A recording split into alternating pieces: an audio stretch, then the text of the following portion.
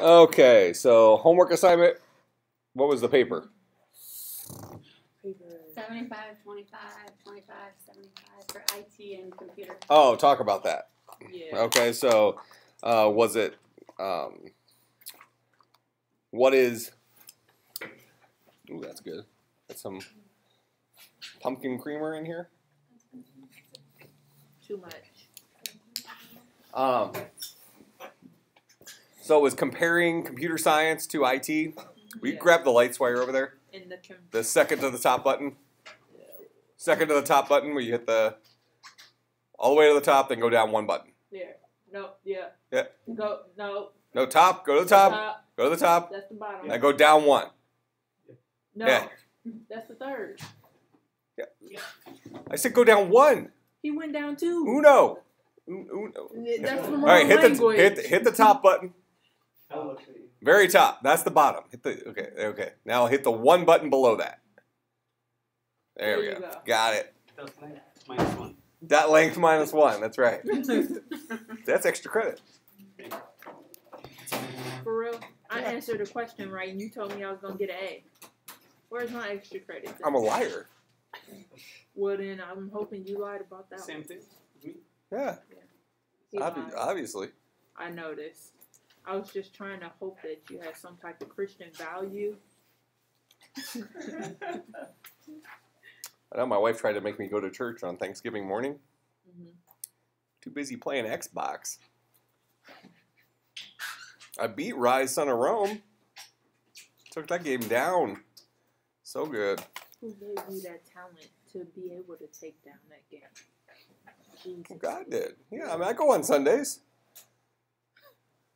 Uh, Thursday morning. I, got, I got stuffs to do. Like play a video game. that's, that's right. Okay. That's just as bad as my pastor giving a summer vacation from Bible school or Bible class. Talking about some, oh, the kids are on vacation. So what? Jesus never stops. Well, yeah, but he's not Jesus. But his kid is only like three months. Oh, his kids were on vacation. All he was talking about all the kids in the church. Yeah, so he's gonna have poor attendance. No, because there was a whole lot of old people there, so it didn't matter. Yeah, but old people there already got a foot in a grave. Doesn't matter. Yes, they need to get closer to Jesus even faster. the kids got time. All right, so uh, let's talk about the uh, uh, computer science versus IT thing. So the argument I make is that computer science and IT are um, the are different sides of the same coin. That is, computer science is seventy five percent creation um, of solutions to problems and twenty five percent application of already created solutions whereas IT is 75% application of already created solutions and 25% creation uh, of solutions. Okay, so that's that's the premise. So now in the paper, what did I? How did I ask you to defend this? I ask you to. Something about when is it preferable to make a new creation or new solution for IT? Okay, so if you're an IT person, at what point do you use something that already exists and Create something. Bend it to your will versus create something custom? Is that the question? One of them. Okay, so what what's the answer? Here, I'll go ahead and open it up so I can actually read the. So when should a IT person utilize a tool that already exists? When the problem is constant. Oh, Okay, tell me about that. um, pretty much like they the problem isn't gonna end. And you're gonna need a solution that the other pre-made solutions do not solve or a combination of them do not solve. And it's also going to be something that's going to be in high demand. It'll be helpful for them to create something new if it's in high demand for that particular solution. High demand. What do you mean by high demand? Like a lot of people need is gonna need that solution, that new tool that you're gonna create. Okay, so this is the argument for if you're making a brand new tool, Yes. if you're creating a custom tool, if you find that there's going to be a large group of people that would benefit from the solution, mm-hmm. Then it, from this specific solution, and there isn't already something available to solve that specific problem, it might be beneficial for you to create that tool because it kind of it solves two purposes. Mm-hmm. It solves your problem, but also benefits the IT community as a whole. Right. Okay, I'm fine with that. There is another thing. Actually, it's an issue, the resource. The IT professionals, when it's going to decide which one is the going the best to create a custom software rather than like pre-made solution, is going to see his resources, like programmers, developers, tools. Sometimes they, some people, I mean, if you're looking for a specialist programmer, for example, Java, and you can find anybody who can help you for this problem to solve this problem. That means, and you have already one is pre-made solution that you are going to take this pre-made solution rather than. Okay. So there might be situations where creating a custom solution might be preferable, Yeah. but the resources aren't there to do it. Therefore, you have to kind of you got to roll with the punches. You got to do what there's the path of least resistance to get the job done, and then there's the correct path. And uh, some or there's the ideal path, and then there's the path of least resistance. And sometimes those two are not the same thing.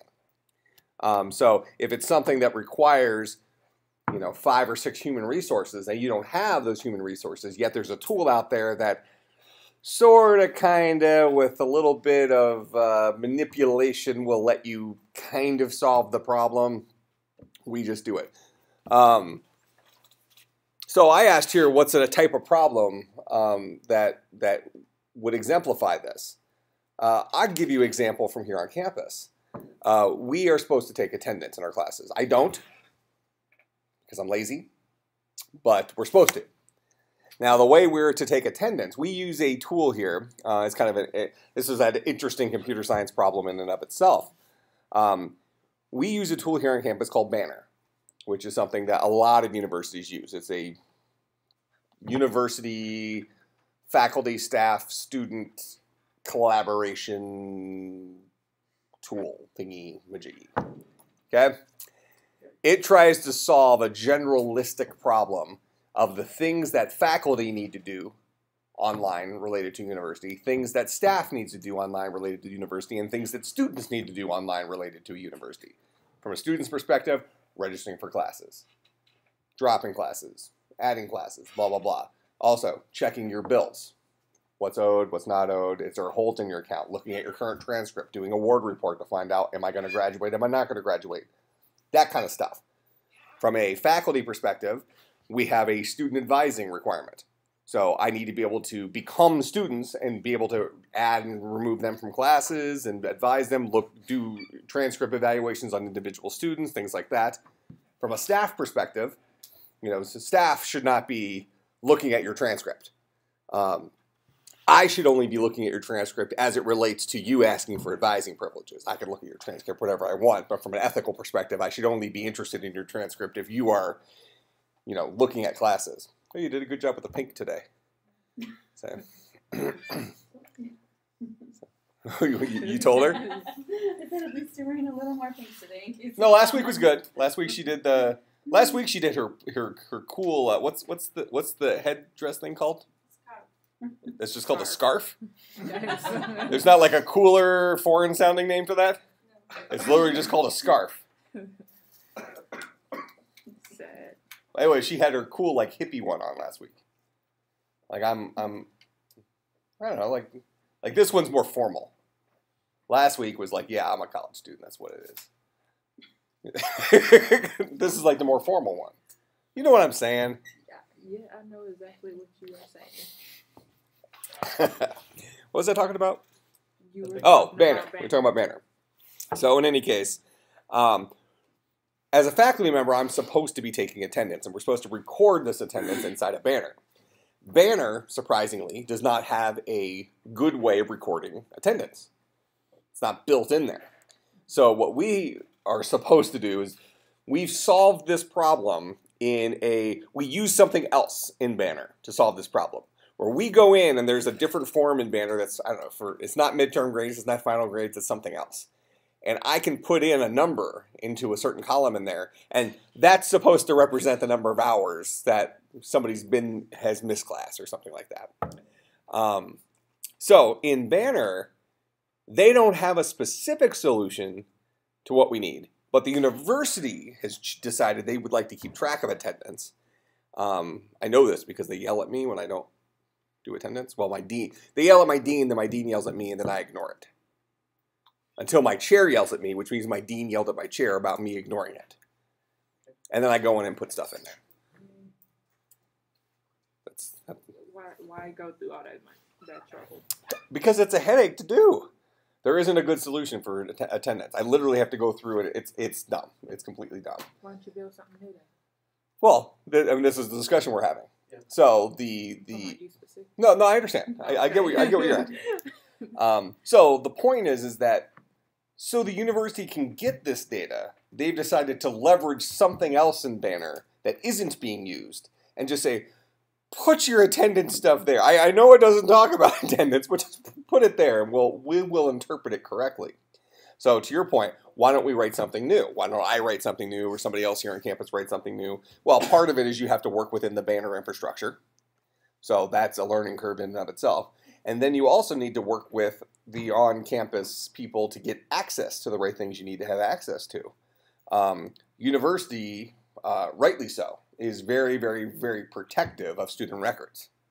Should be, right? I mean, you, don't want your transcripts transcripts getting lost and that kind of stuff. So, um, accessing things, making changes to Banner is there's a lot of red tape that has to go through there. So unless it is absolutely critical, if there is another way around it, even if it doesn't make tons of sense, even if it's not super convenient, the fact that it's doable, we've chosen to go with that solution. That's an IT approach. Okay? It's the path of least resistance. It's not the best path, but it's the path of least resistance. It's not the ideal path, I think is the word I used earlier. But regardless, uh, um, that would be a good example of a, a IT type decision where they had to say, okay, look, we need to do this. Doing it right would be prohibitively either A, expensive, B, time consuming, C, time consuming and expensive. um, and we don't, you know, and because these guys are, you know, in the IT industry, you're almost always running around putting some fire out. You don't really have a lot of time to make progress on these long term projects. I mean, the, the, when the, the spirit is willing, but if you, uh, um, I have yet to uh, be in any sort of institution where there is an IT department where people don't complain about the IT, IT department. Um, and it seems to me that all IT departments can't be bad. It seems to me that IT professional, being an IT professional is a fairly thankless job. When everything's working fine, nobody says anything. Right? Mhm. Only when crap breaks. when crap breaks, you're not doing your job. so when you are doing your job, nobody notices. When you're still doing your job, but something bad that you was out of your control happens, people start screaming at you. That's what they remember. So I think IT, uh, as much as I'm a user of IT, um, and even, I mean, let's use another example here. For instance, I upload my videos for all my classes on YouTube. The university provides a service for us. Uh, for uh, what's it called? Not- Panopto. Why don't I use Panopto? It's unacceptable to me. I can't rely on it. You know, if I, I just spend four hours giving a lecture, I know that 95% of the time, the solution I've put into play here works. Software, software. Every now and then I might have a recording get crash, you know, crash or something, but you know, I do. See how many I do? One, two, three, four, five, six, seven, eight. I do a minimum of 15 hours, 16, 16 hours of recording a week. And knock on wood, I don't remember the last time I had a recording fail. It was probably sometime in the last six months. But a small percentage of the time do I have a recording fail. It happens. It has happened. I'll get to the end of the class. I'll go up here to start stop my recording. I'll see. Oh, it. I wonder when that actually stopped. Whenever the program crashed halfway through the class or whatever. So I might have captured five minutes of the class. I might have captured forty-five minutes of the class. But you know, it's like rolling the dice. But generally speaking, it's pretty reliable. Now, Panopto, I would say that my failure rate with Panopto was around seventy-five percent. Three out of four times I failed capturing the lecture. Now that's a service IT is providing to me. So from a secondary IT professional perspective, I can choose to work with IT to try to get this problem resolved. It's one option, right? First of all, this isn't a tool IT created. This is a tool IT supports. Panopto is made from another company. Um, on top of that, I can only rely on IT giving me um, timely support. Well, I can't rely on IT to give me timely support. Not necessarily because IT is bad. Um, you know, it depends on the week. If you ask me, in my opinion, but most weeks, I mean, I I have a, a soft spot for IT because I understand the problems they solve. They have to deal with the biggest problem that day regardless of what they thought the biggest problem they were going to deal with tomorrow was yesterday. When they if they show up to work today and the internet's down, it doesn't matter what they were planning on working on today. What they're working on now is getting the internet back up. So IT is a very unpredictable profession.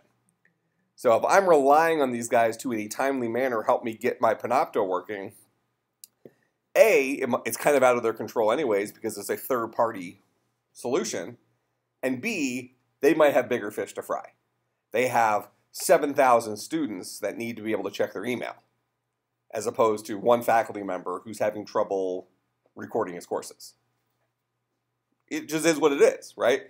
That doesn't mean it's good, but I have chosen to take control of it on my own. Now, being a technologist, it's okay. I mean, I, am plenty capable of handling doing YouTube videos and things like that. So it this is the easier solution to me. But if I was an English professor who maybe doesn't have a really strong technical background, they wouldn't be able to do what I'm doing, even though this is far easier than Panopto ever was. to be honest. But you know, it they those types of people need IT more than folks like me.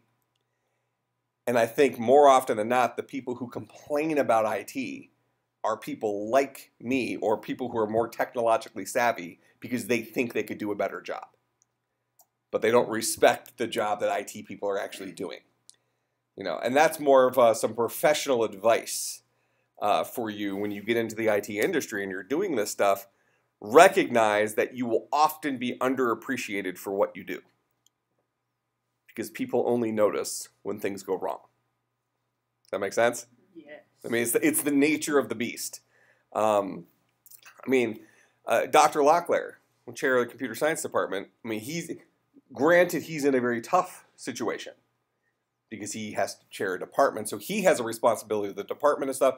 But he's always had a fairly high friction um, relationship with IT because he started his IT here. Concordia didn't have an IT department. He was the IT department. Then we grew a computer science department, and computer science had its needs, and the rest of the university had its needs. Well, um, he is very pro Concordia. Even if he doesn't trust that IT is going to give a good solution, he would prefer to rely on them to get the good solution rather than go and duplicate efforts.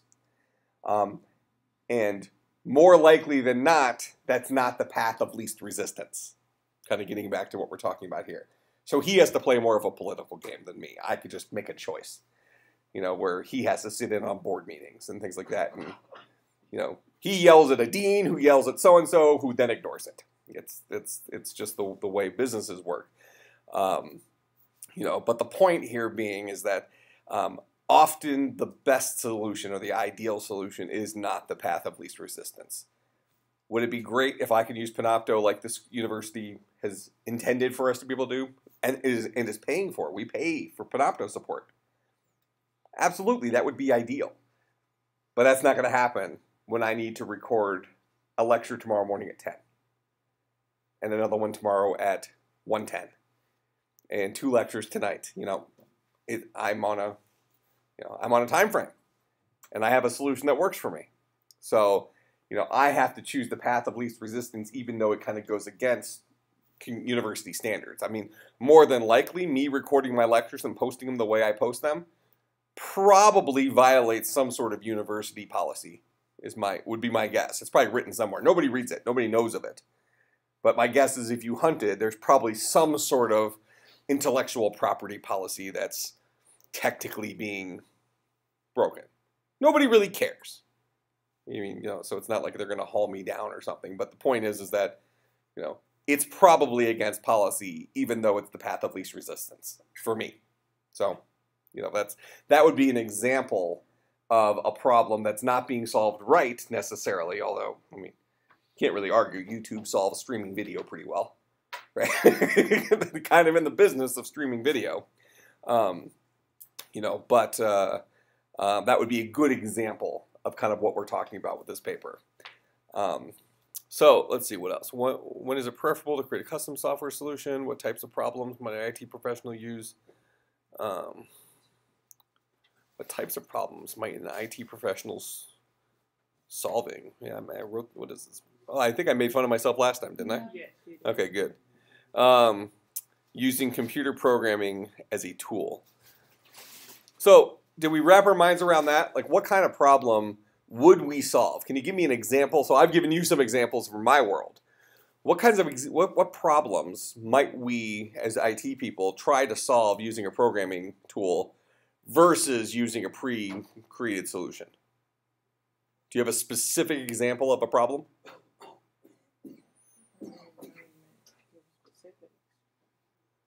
Well, so I mean, let's kind of talk about generalistic problems, problems that all business people have to deal with. So, for instance, uh, email and calendaring. Any medium and large size corporation, even relatively small corporations, need to uh, um, have some sort of shared calendar. It's, it's part of business, right? Yeah. So let's say that you're an IT professional at some place and somebody comes up and he says, you know, we really need to have email and shared calendar. Are you immediately going to say, okay, well, I'm going to go ahead and start writing this, or I'll, probably use Java or I'll use C Sharp. Um, let's see, what, what does it need to look like? Is that the first thing you're going to think about? Mm-mm. No. In the IT industry, more than likely, if you're on a Windows platform, your problem just got solved. Buy a license for Office 365. Now you have Outlook with a calendar, with email, and oh, by the way, you also have business applications like Word and Excel and SharePoint. Done. We're done. Problem solved. Wrote a check and we're done. Um, so, how much did that check cost? Well, I mean, let's put this into perspective. How much is a subscription to Office 365 for a year? You know, if you buy it in, you know, some sort of business package, maybe it's, um, uh, let's say it's 200 bucks a year. 200 bucks a year per person.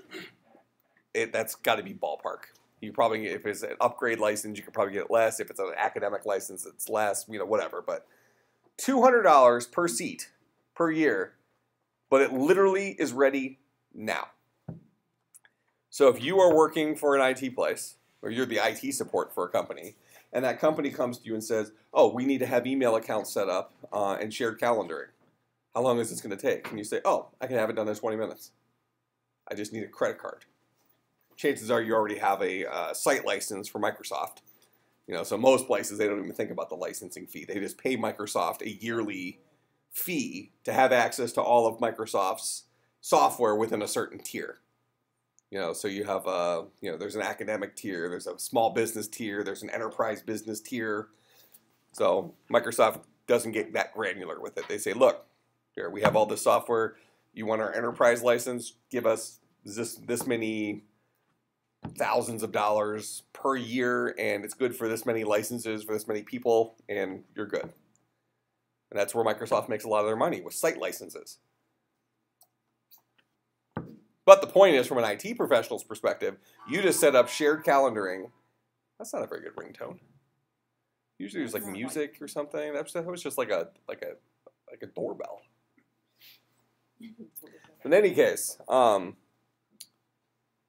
as an IT professional, you literally just solved a problem by writing a check, probably the company's check, right? In 20 minutes. Can you make any argument whatsoever that that wasn't the right decision?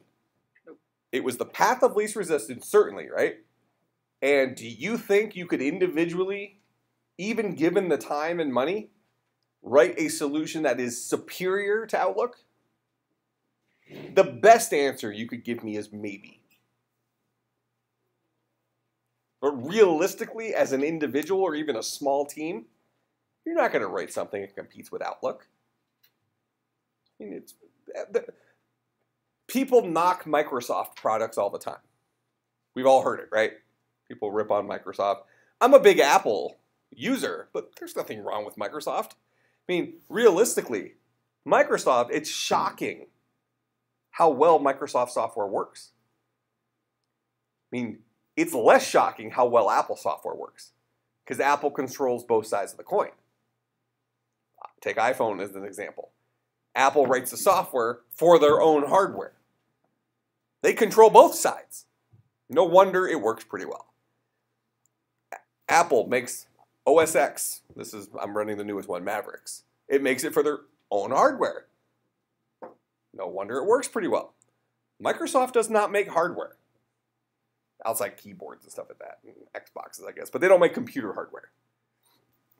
So Microsoft writes products like Windows and Word and Excel, and those software packages need to run on a thousand different computers. Different hardware configurations, different speed computers, different size monitors.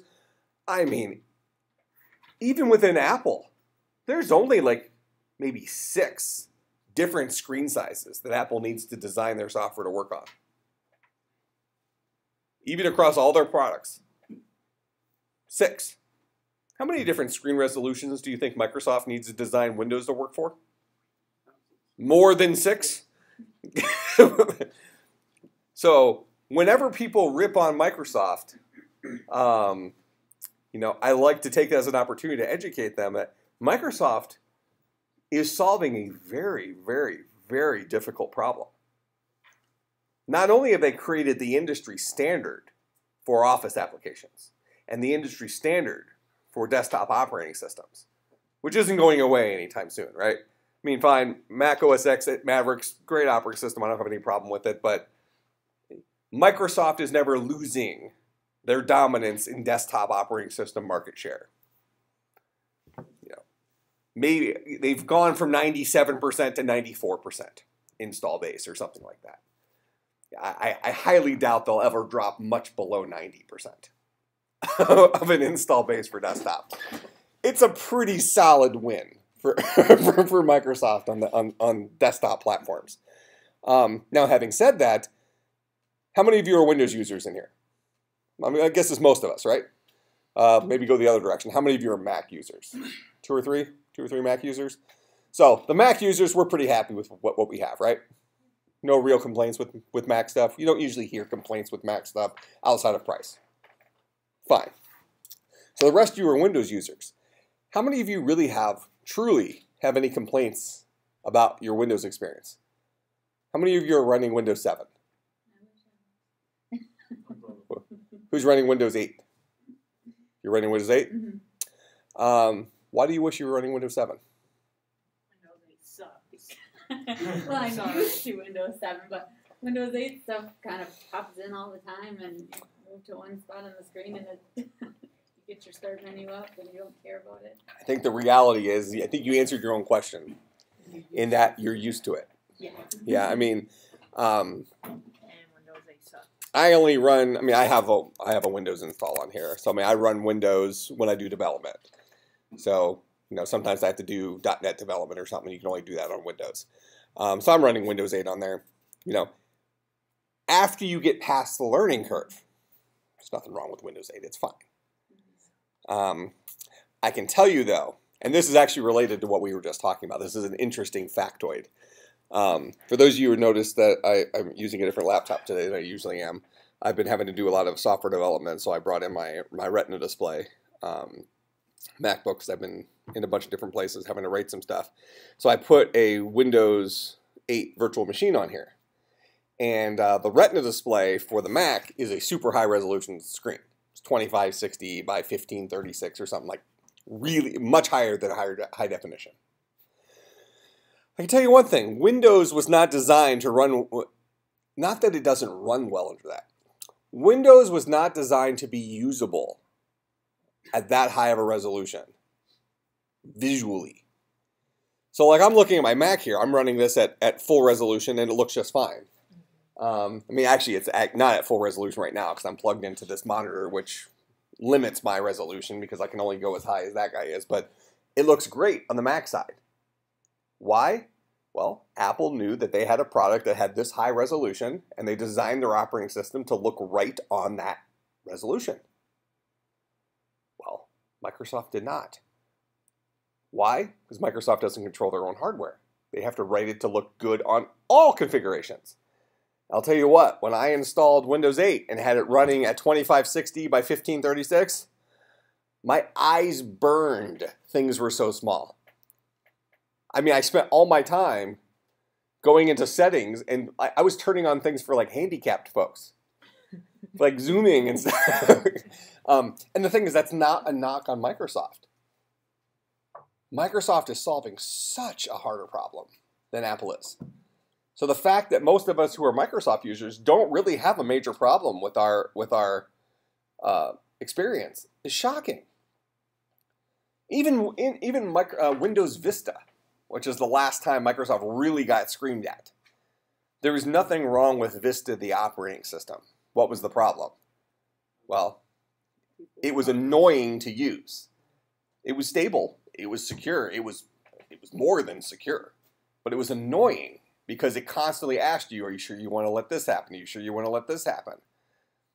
Well, why is that? Why did they have to be so annoying? Well, you can argue that well, they didn't really have to be so annoying, but have you, how many of you have ever heard the statement that, well, Windows has viruses, but Apple doesn't have viruses? Have you heard that before? Mm-hmm. Okay. Do you think that's true? No. Well, the fact is, it actually is mostly true, but not for the reason why you think. It's not that Apple is immune to viruses. They're based on a Unix operating system, which is arguably more secure than Windows, um, a Windows NT based operating system, but not. I mean, we're talking 5% or something, nothing ridiculous. Why are there so many more, so many more viruses for Windows than there are for Mac? Easy to break into. Users. Large number More users, yeah. It's nothing to do with how easy it is to break into. If you're somebody who writes viruses, you want to attack the most number of people. Are you going to attack the 4 trillion people running Windows or the 7 people running Mac? So, you know, once again, the fact that Windows has so many viruses isn't a knock on Windows. In fact, if anything, it's a boon because it's so popular. Does that kind of make sense? So, as IT professionals, you need to be able to understand this stuff in the right light. And keep in mind, you're hearing this from an Apple user. So, you know, this is an Apple fan telling you that Microsoft is good. so, you know, don't bite the hand that feeds type thing. We wouldn't be in the world we are today with computing if it wasn't for Microsoft. We need that beast. And by the way, Apple's not standing in the corner looking so cute either. You know, they do the same, you know, unethical business practices and crap like that that Microsoft does. They're both beasts. You know, it's, it is what it is. But, you know, um, the thing is, when people say Microsoft sucks, I take exception because from a computing perspective, it's shocking how well Microsoft software works given the problem they're solving. Shocking. You know, and we could take that exact same argument and take it to mobile. How many of you are Android users in here? How many of you are iPhone users in here? Okay. Most iPhone users would say, oh, well, iPhone's better than Android. Blanketly, right? Android users would say, well, Android's better than iPhone. Well, I can tell you factually, I think that there's very little argument that the end user experience on iPhone is superior to the end user experience on Android. But let's call it today like 5%. Android, though, is solving the Microsoft problem. Apple is solving the Apple problem. They're writing OS, they're writing iOS, the software for iPhone, for their own hardware. Google, the people who make Android, they're writing the Android operating system for 5,000 different smartphones. It's shocking how good Android is when you consider that. If we would, if we roll back the clock, three, how many go, how many of you were Android users three years ago who are still Android users today? Okay, Android three years ago compared to Android today, no competition. Android has a, has improved exponentially in three years. Three years ago, nobody could make any sort of rational argument that the Android experience was even close to the iPhone experience. Today, you could make a legitimate argument. I would still argue iPhone's got the edge. But Android is shockingly close, especially when you consider that they're solving significant, a significantly harder problem. They're actually solving a much harder problem than even Microsoft is solving. Because we're just now moving into this age where mobile technology, these computers that go in our pocket, are getting faster and faster and bigger and bigger and higher resolution and more gadgets attached to them and Bluetooth this and Bluetooth that. The technology is changing so much, so fast, and Android is keeping up shockingly well. So, again, from an Apple person, if somebody says Android sucks, let's talk in a year or two. I mean, I, I can only see Google closing that gap. And now that Apple has lost their, you know, lost their Steve Jobs, they, you know, they don't, you know, they're still cool, but I, they've certainly lost a little bit of their edge. Nobody can argue that that hasn't happened, right? You know, you lose a little bit there, and then you have a company like Google that's no slouch. Working so hard on Android. I mean, from a consumer perspective, we're in a pretty good place. I mean, now you got two, you know, two big fish fighting with each other as to who's going to have the best mobile experience moving forward, and who knows who's going to win. Three years ago, we said Apple was easily winning. Today, I would make the argument that Apple's barely winning. Let's talk next year the year after that, the year after that. Right now, Apple's losing ground, is, is, is the punchline, right? Really, Apple only controls the market in tablet space at this point. Smartphone, it's a relatively 50 50 split, um, you know, ish. The, the, the, install base is a little bit, uh, uh, the numbers are a little weird on the install base when you consider the number of different devices Android's on versus the six devices I, iOS is on. But regardless, let's call smartphones relatively a 50 50 split. But tablet is still a pretty heavy iPad win. I would say iPads are probably representative of 85% of the usable tablet market. You know, they have a pretty big lead there, but um, it's really shocking to me how much better Android has gotten today than they were three years ago. I mean, it's it's ridiculous. So they're solving that Microsoft problem that we're talking about here. So, um, I have an example, a real Yeah. world example for the pre-made versus um, custom. At, at my job, we process dental claims, and we have like three different lines of business. They moved over to a new processing system. Right now, they have three custom business units that separated out because each one is so individual that okay. if they took like a pre-made like mold, they would have to do more, you know, more within there to house everybody. So they have three different. Well, they actually have four because we have one client that's in one of the units that's its own beast on its own. So they put it in Okay. its own complete separate business unit. So they customize each one instead of going with a pre-made solution. it makes it a pain. I test like the user interface. It makes it a mm-hmm. pain in the butt because we have to test every single one to make sure that it's working okay. Okay. Whereas if it was one big one, we'd only have to test it one time. Right, but you're saying that one big one wouldn't suffice Right. for the individual needs. yes, for- of, of each Yep. client or commercial. Right. So, again, in that situation, the most efficient solution is not the the solution. The path of least resistance is not the ideal solution. Mhm. Yep. Is the is is the punchline. Um, yeah. So I mean, it's it's it's really interesting. Um, but I think even that that whole this whole concept of Microsoft and Android and things like that really comes back to what we said, you know, 20 minutes ago about IT is a thankless industry. Mhm. You know, people only complain when it's broken. They're not impressed when it works. No, it's, it's just the nature of the beast. So be prepared. People are just going to complain to you because when you're doing your job and everything's working, well, that's what they pay you for. like, do you realize I haven't slept in four days so that you could check your email? you know that kind of thing. So it's, um, uh, I think it's a very interesting um, premise that even technology folks uh, forget. Um, you know, and we can take it outside of technology and just uh, human beings in general. A lot of times we discount um, how important certain industries are to us, and we take it for granted when we complain about this, that, or the next thing. Um, you know, people complain about the police, things like that. Like, oh well, you know, the traffic is really, really slow because you know there's this accident up there, and they're routing everybody around and stuff like that. Yeah, I just had this the other day. I was coming home from Concordia going to my house, and there was some sort of accident, I'm assuming, uh, on Port, Port Washington Road heading north.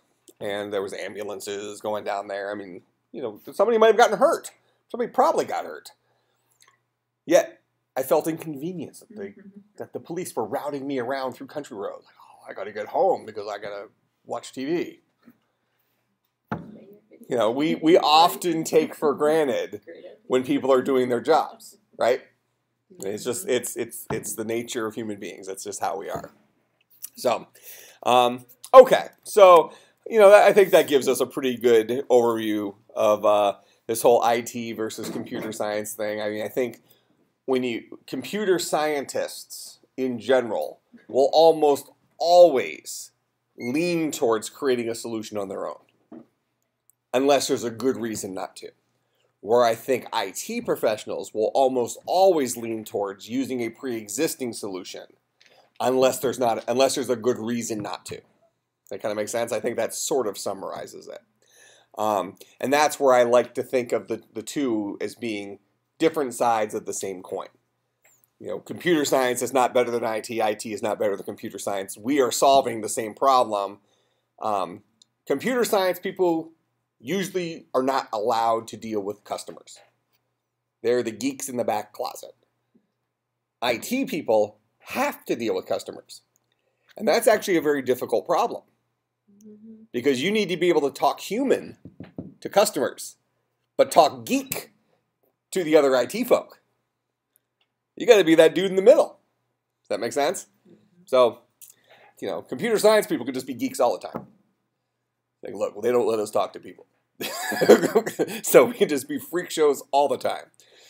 IT people need to fake it with real people.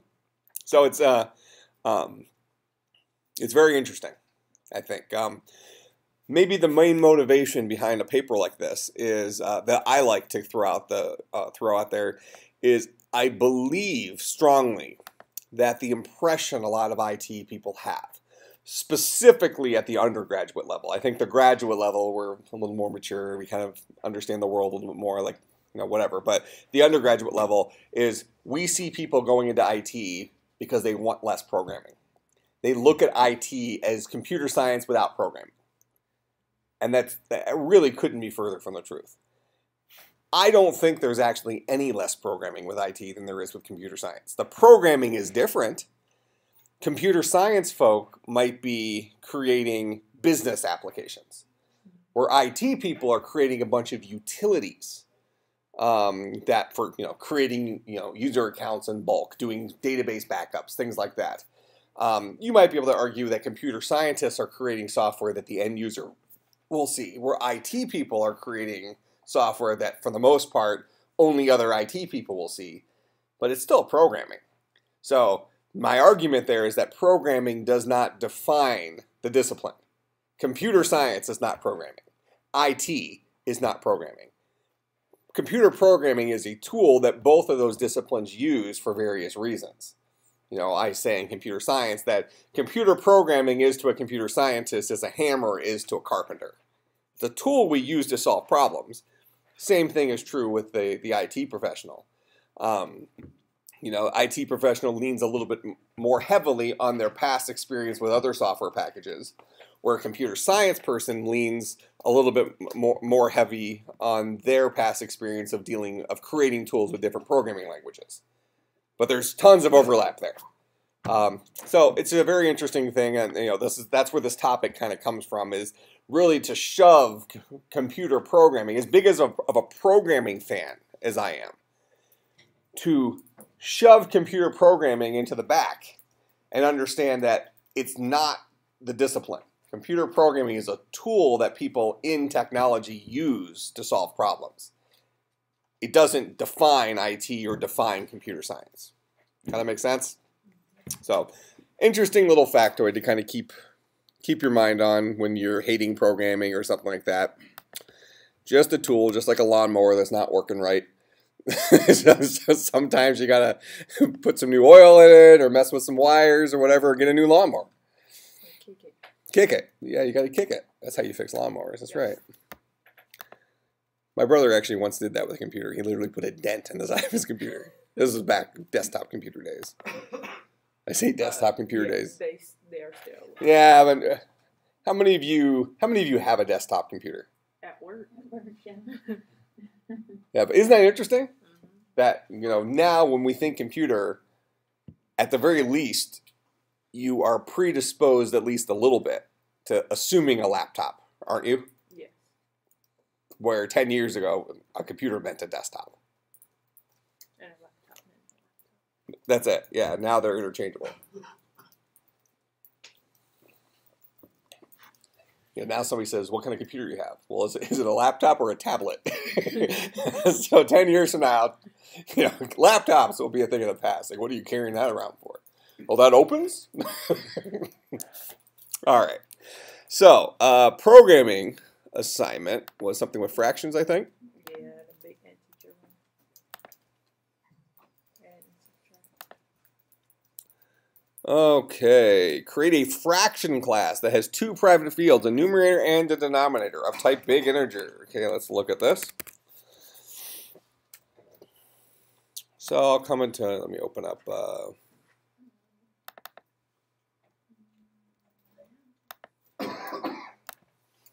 so I'm going to create a new, Oh yeah, and you posted that, but I don't think you made it public. Your the code from last week. So none of us could see. it. Well, I couldn't see. really? it. Yeah. I had somebody text me and ask me, and I told them it was there, and then they didn't complain. I couldn't.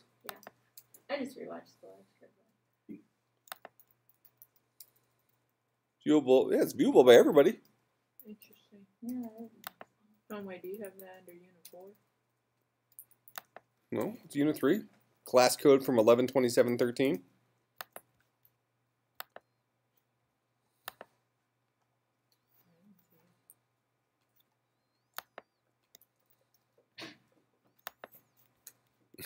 I like how this is just not broken. it's just slow, Maybe that's the problem. Angel's broken. like always. Was anybody able to see the class code from class? Hmm. I just watched the video. Yeah. Okay. Well, sorry. Saw your. Well, somebody, like I said, somebody. Uh, I think you texted me, didn't you? Yeah. Yeah. Um, I went online. Like it's, it's there, so I, you know, I was not able to find. I Like, politely replied saying, "Oh yeah, it's there now." Like well, it was there 20 minutes ago before you asked too. See, it's not. well, let me. Uh, Did you ever save it? yeah, I mean, it's I, you're, you're looking at it. No, I mean like save the setting. Yeah. I mean, you just saw me open it, and it showed me showed you what the current setting is. Just like out of curiosity, I mean, it's it's too late now, obviously, but uh, let me go in and let's do the settings for it. I'll go to access. It's viewable by everyone, but let me change it to students, maybe,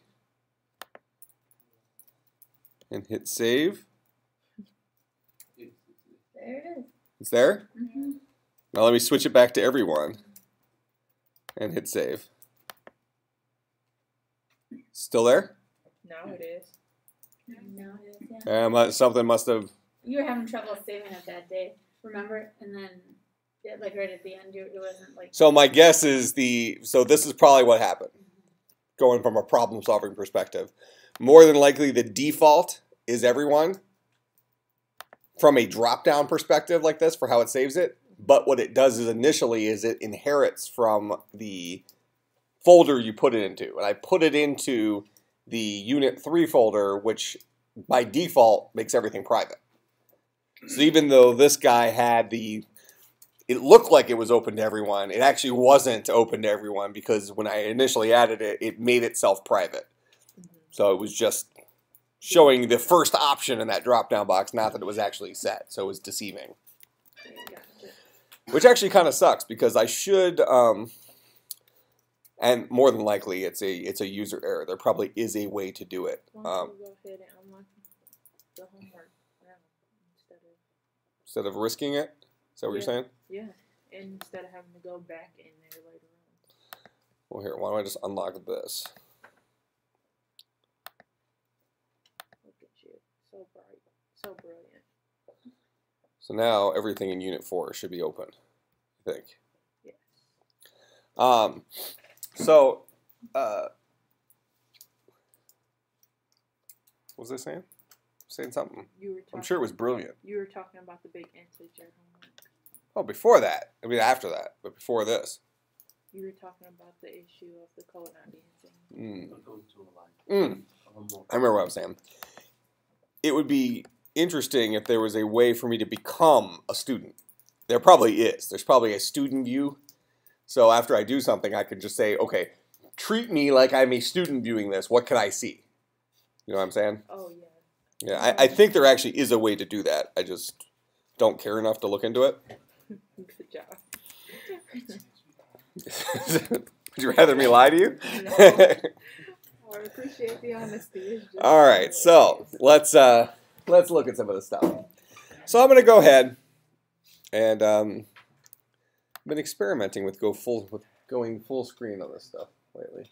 Interesting. So I'm going to right click and we're going to create a new class called fraction. Right? And fraction is going to have two private fields.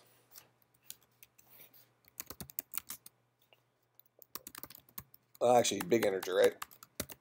Yeah.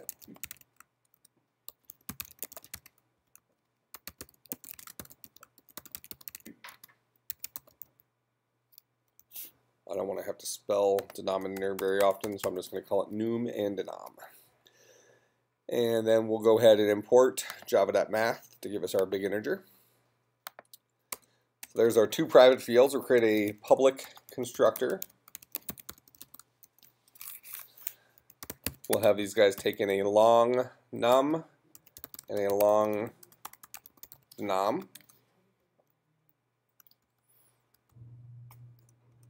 We'll probably end up making a couple of different constructors, but just for our starting point here, we'll have it taken a num, uh, two longs and create our big integers out of that. And we'll say num is equal to new big integer num. So this dot num is equal to new big integer.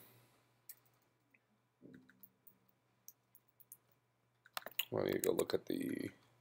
How did we create big integers last time? Make sure I'm doing it the way I showed you how to do it.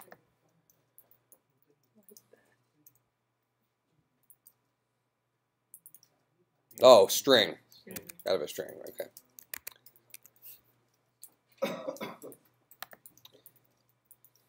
So empty string concatenated with whatever num is. And this dot denom is equal to new big integer empty string concatenated with denom. All right.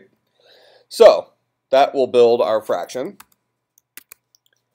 And let's see, what else am I supposed to do? Unit 3, homework 6. Fraction needs to be able to display itself. So let's go do that. So I'll create a public void display method. display method will do system.out.println this dot num concatenated with a slash concatenated with this dot denom uh, and this will have we looked at the toString method yet in here okay well we'll end up doing this today it's fine um, because the reality is we're actually calling this dot num dot toString and this dot denom dot toString to make it work right. That'll make sense later, so it's not that important. Um, so let's go ahead and test our early fraction here. So I'll come into, can't stand all this clutter. Over. I'm just going to delete it.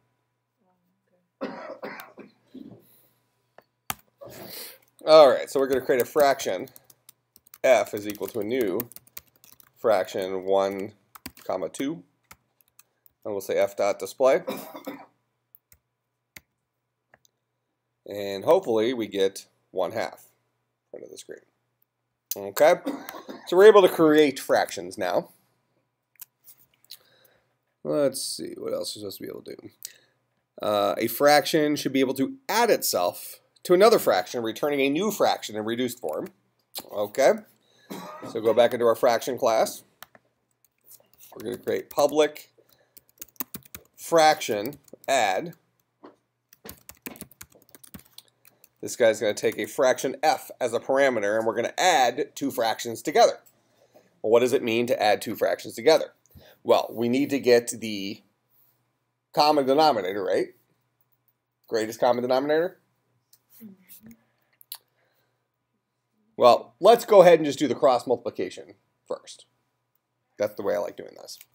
So let's do an unreduced form first. So what I'm going to say is I'm going to say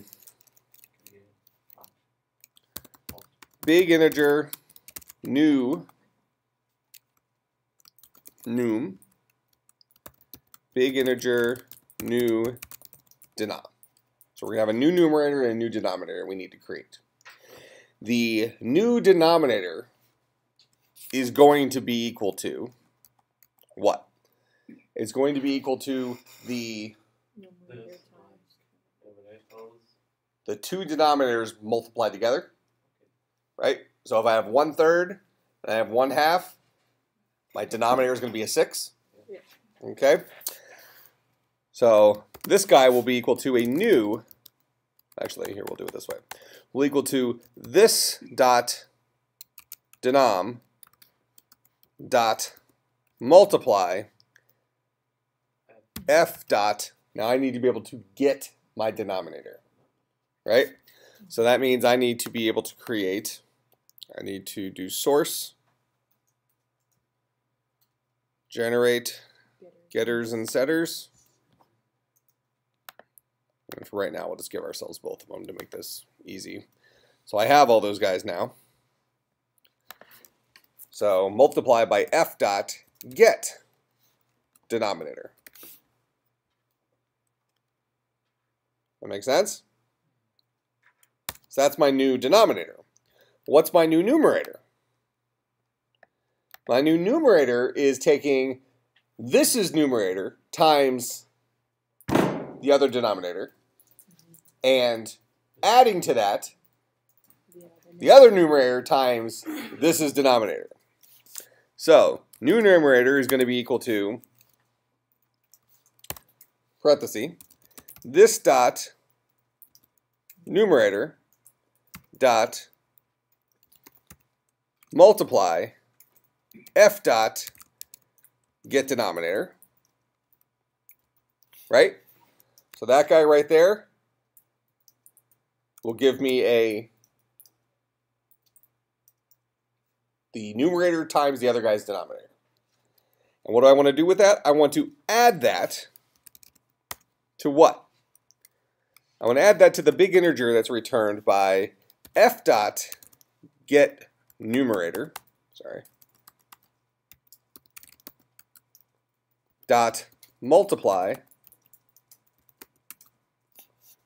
this dot denominator.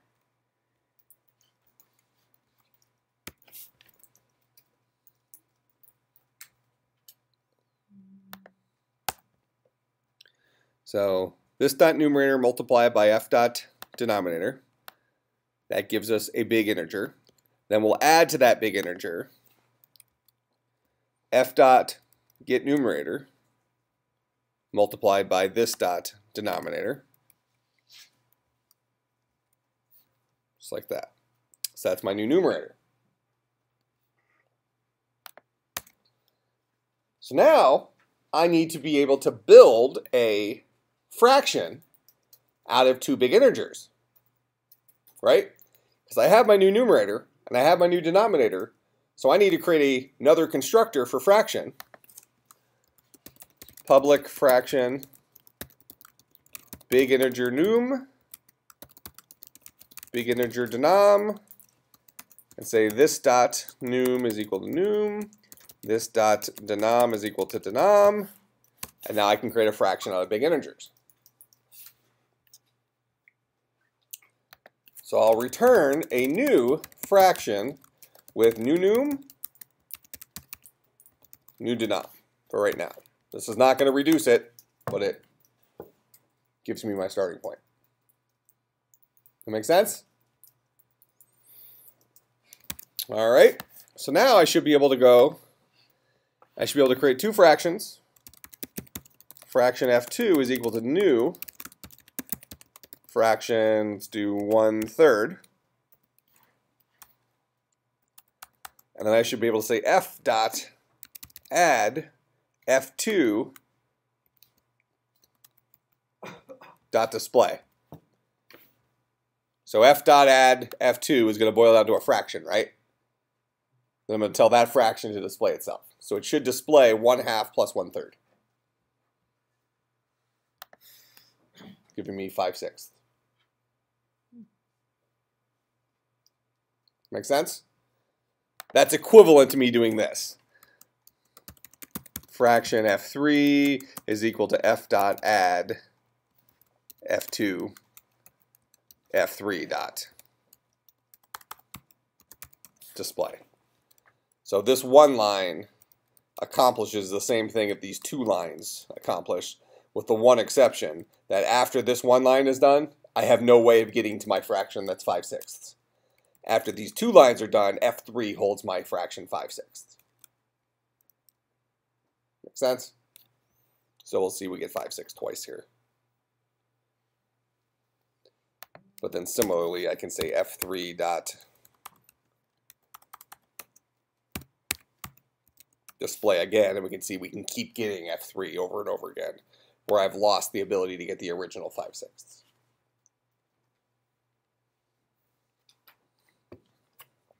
All right. Questions about that? So now we need to be able to reduce this dude, right? So to reduce them, I need to go and get my greatest common divisor. Well, let's hit YouTube, YouTube, hit the internet, uh, GCD algorithm.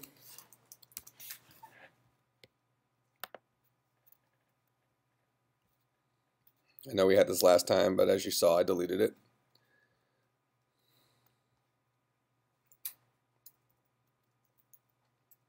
Ooh, here's a recursive version of it. GCD and uh, under the integer object. If you like integer dot GCD, there is another. Oh, is there? Yes. I didn't tell you how to use that. Because it's already there. Because we did. I did technically show you how to use the um, A multiple and divide and add. the documentation for it. I'll allow it. Um, I'd rather write it. Let's just write one of these. Although I am interested in the recursive version. That looks that looks kind of fun actually. So we'll come in here and we're going to create a private function.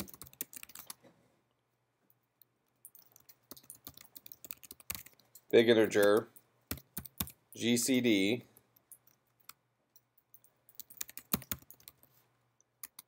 That's going to take a fraction f as well as this current fraction and give us the greatest common divisor. I'm going to paste this code in even though we're going to So in our code here, A is this, and B is F. So here we can even name this, uh, no, screw it. Just leave it as F. So while A and B are not, uh-oh. Thought we had an emergency. We're good. I may or may not have hit the power button. Okay, while A and B are not equal to each other, which means that this dot, well, actually just this, dot equals, hmm, actually it's going to be interesting. How do I ask if two fractions are not equal to each other? Hmm? Greatest common denominator actually does not take in a fraction. It takes in a big integer b.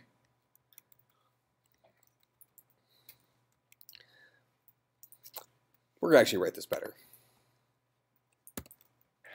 It'll give us an opportunity to show something. I'm going to take in a big integer b and a big integer a. And we're going to make this guy static. We're going to make it static. I'm going to ask you why we made it static in a few minutes. It might potentially be a quiz, so keep that to yourself and think about it. So while a dot equals b, while that is not true,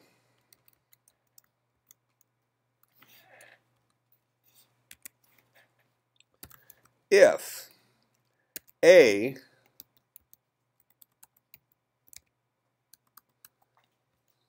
uh, let's see. Yeah, it does. What greater than? So really, you almost had to use the. Uh,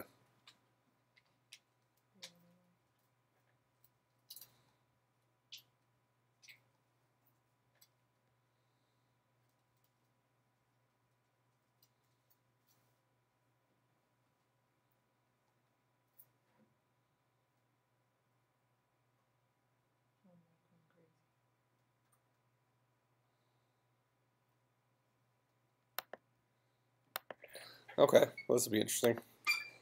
So, I want to say, well, A and B are not equal to each other, right? So while A dot subtract B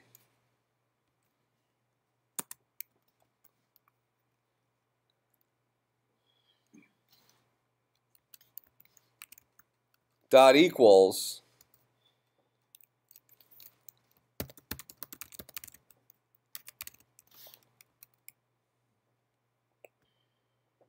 Well, that is not true. While it is not true that a minus b is equal to 0, the big integer 0. And if you didn't know about big integer 0 here, in fact, we're going to assume it because I don't want anybody having any dirt on me.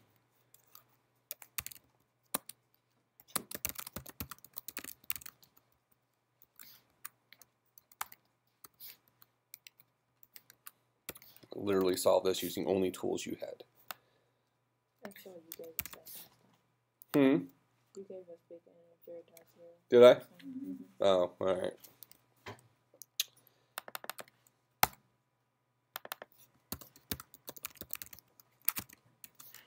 All right, so while A minus B is not equal to zero, that means they're not equal to each other, right? Okay. So while that's true, what am I going to do? I'm going to set A equal to A dot subtract B. else I'm going to set b equal to b dot subtract a.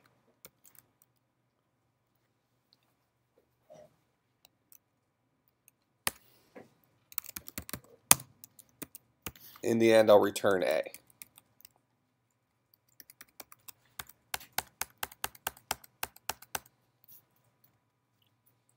That make Make sense? So that is my GCD function for big integers. And then what I'll do is inside my add function, before I return,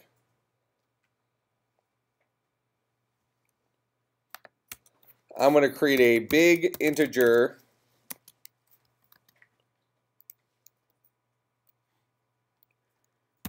div.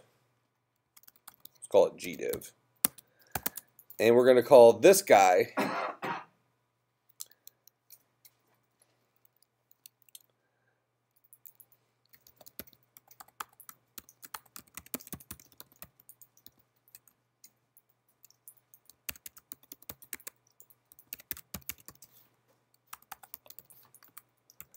I'm going to call my fractions greatest common divisor, passing at the numerator and denominator, giving me gdiv.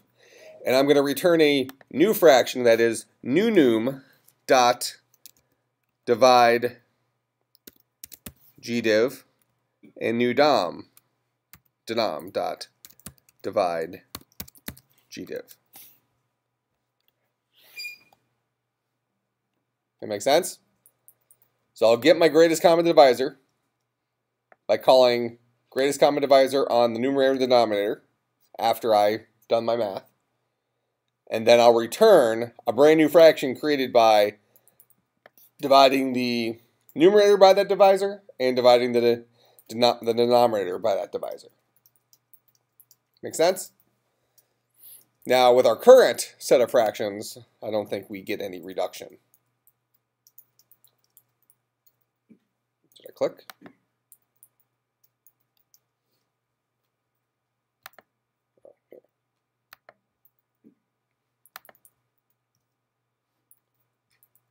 Why do you hate me?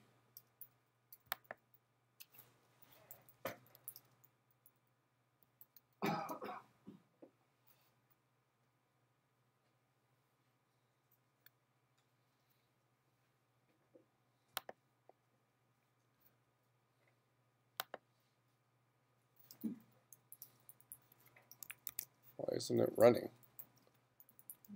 We have this problem last time?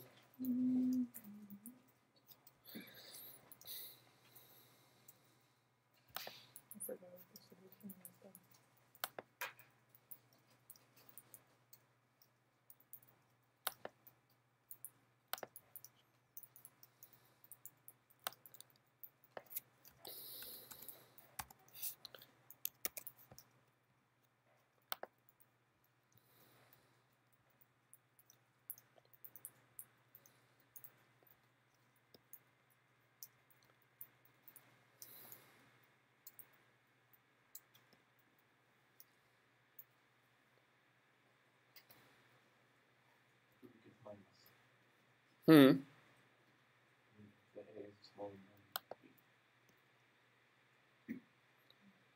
If a dot subtract b is not equal to 0, then set a equal to a subtract b. Otherwise, set b equal to b subtract a. Do that for as long as a and b are not equal. Do we have to check before? I'm guessing this is an infinite loop. That equals must not actually compare them. So I must need to say this.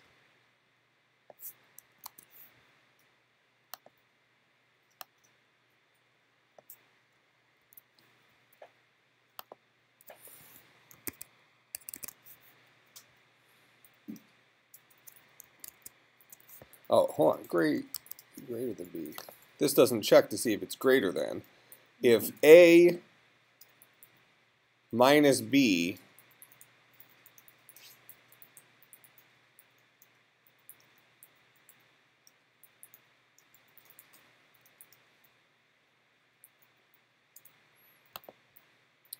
We need to simulate greater than.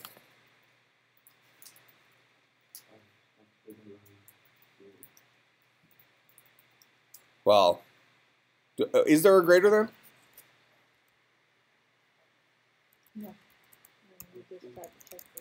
Yeah.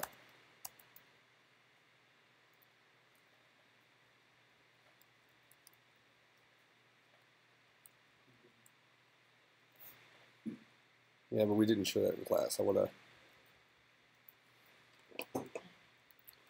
I want to make this awesome.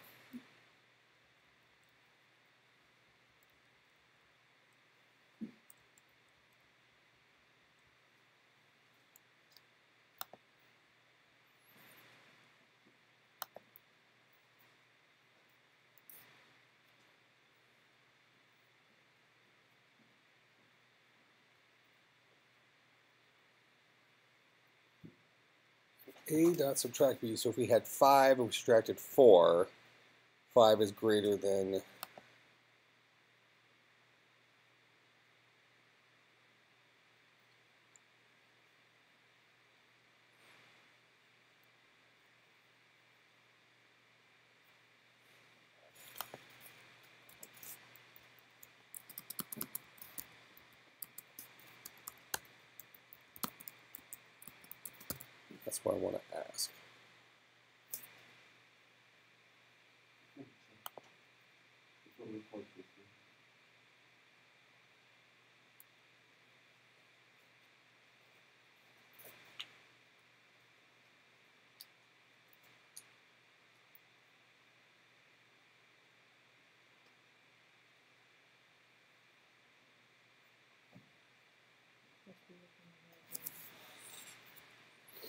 Yeah, it is weird. But we're gonna make we're gonna have an awesome solution. I mean, before we call that, this is we, we can check that is the greater than five is we get f this gets simulation like bigger than Right, but then you get it as an int. What happens if the values get too big? Yeah, I want to deal with them as big integers because I want this to literally work for arbitrary size numbers. no not before here. I mean before we call that this is Well, yeah, but you would still get from you would so it would be a dot. Um, was it int value or something like that? no, you don't have to check here. Check before you this method. Or this method. All right, but but how? How are you going to compare A and B? Uh, So it doesn't matter when you do it. I'm just saying, how can you compare A to B? okay, because when you when you call this method, you can yes here. Yeah. You say you want to check before this line. Yeah. But how am I checking? How are you recommending we check? Like I still have to ask, is new num greater mi- than... like minus one minus and if it's like less than zero, go Right, but how do I ask, is it less than zero? like uh, New num and new denom are, are big integers here, just like they are in the other place. Yes, if new num minus new then like it's not greater than- uh, What I'm saying? There, there isn't a difference. So we have to come up with a... Uh, there used to be. I think it used to be like GT or something.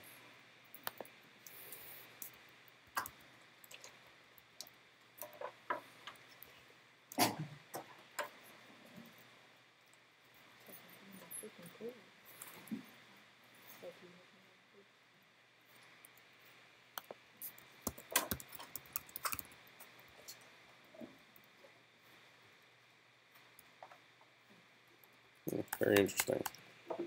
All right, well, we're going to write a helper function here then. How do we ask is a certain number greater than a certain other number if both of those numbers are big integers?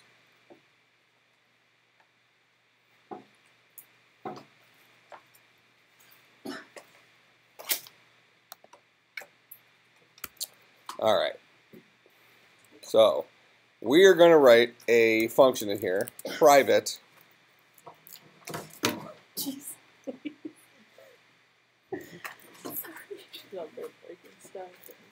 Okay, so we're going to write a function here, private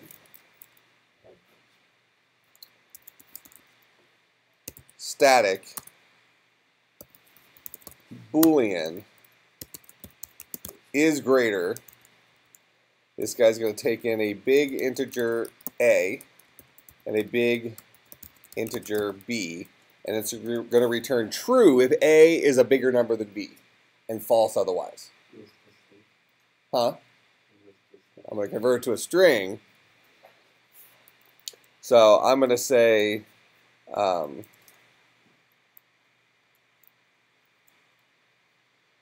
so once I get it as a string, now I need to compare strings to each other. Make sense?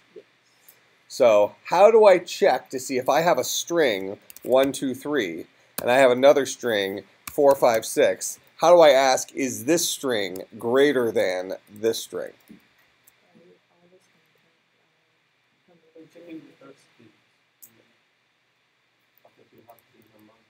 Okay, so how about uh, how about that? You should arrange before. that's what I just said. Well, can I check the last digits? You can do. But for, uh, Check all under the links, so digits. But if it's all zeros, let's say five zeros. Check all the digits can I check the last digits?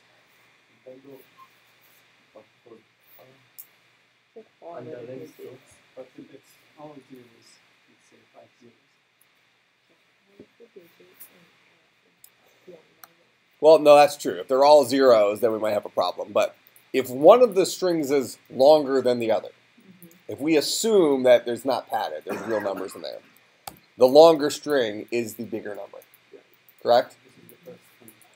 Yep. So if a dot toString dot length is less than b dot toString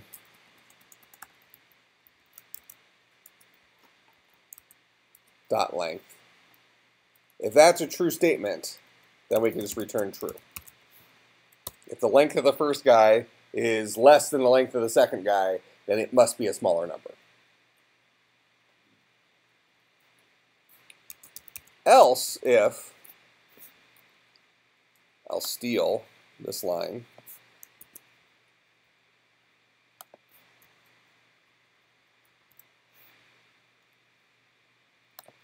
and change the B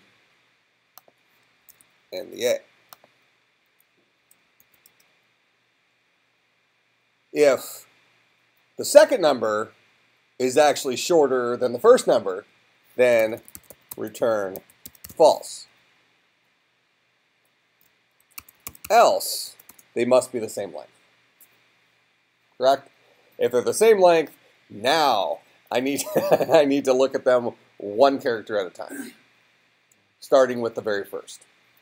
So, for int i is equal to 0, i is less than uh, a dot two toString dot length i plus plus. So we know they're both the same length, so it doesn't matter if I use a or b's length there. It's the same. Okay, and what I want to do is I want to ask the question if the character I'm currently looking at is larger in A than it is in B, then return true. Correct? Otherwise, move on to the next character. If now the way I get the current character I'm looking at in A is A dot toString dot char at I. That's how I get an individual character. Correct? How do I get that guy as a number? Hmm? Fast. Okay? Except integer.parseInt takes a string.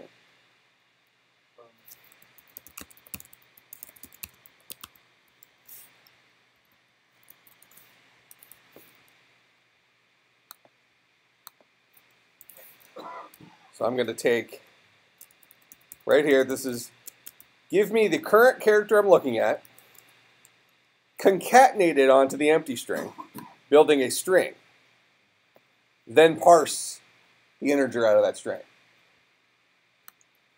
If that string is less than b's, is this? B's version of that. If that's a true statement, what am I going to do? Return true.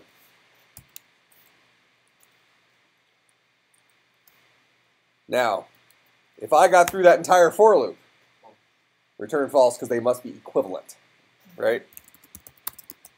Return false.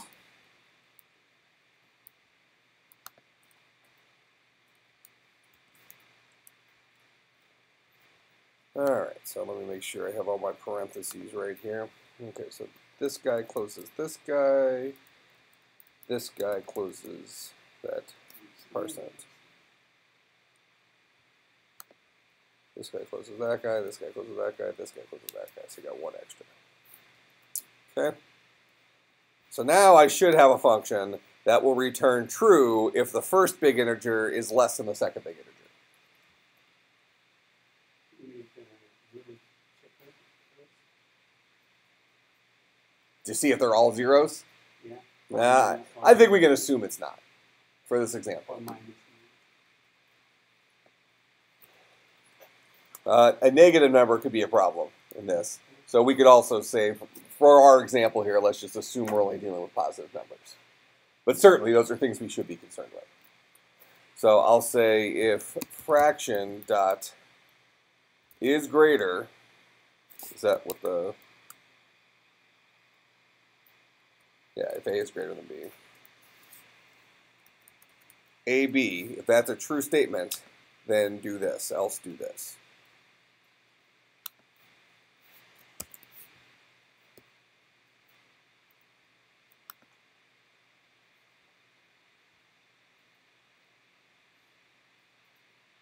Oh, well, we already got a negative number. Must be because these guys don't, um, that's not how you compare.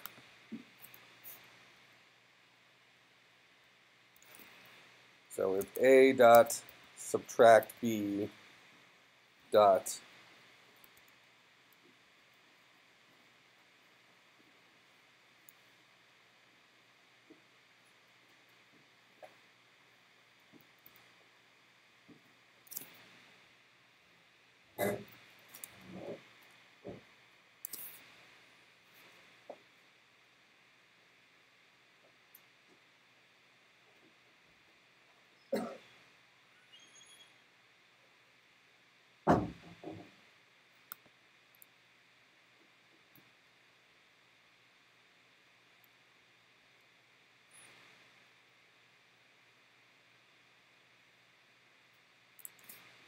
doesn't look like equals.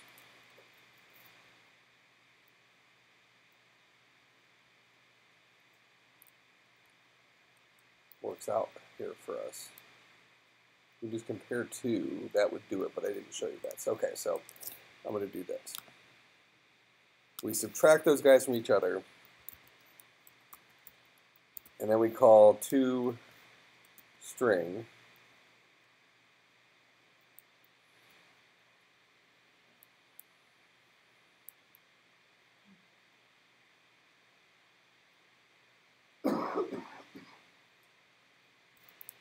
dot char at zero not equal to the character zero. So if I take my first number, I subtract from it my second number, then I convert that to a string, then I get the character at bucket zero of that, and I compare that character to a zero. As soon as they are equal to each other, a minus b will be a zero, therefore char at zero will be a zero, when I compare it to the char 0. So I think this is the equivalent.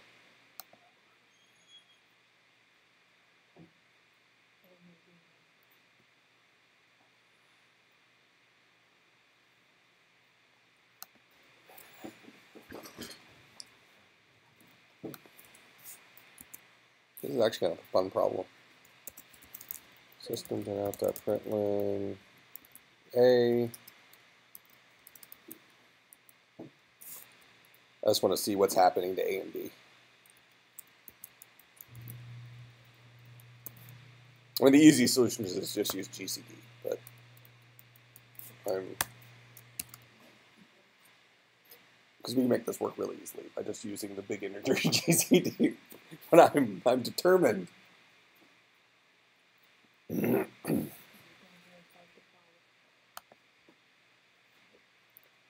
Okay, so we started off with 5 and 6. Um, then a became a negative 1 when I subtracted them.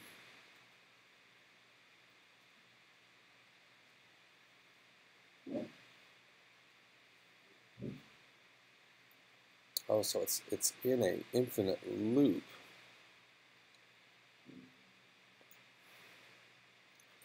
As long as they're not equal to each other, which they're not. So A is 5, B is 6.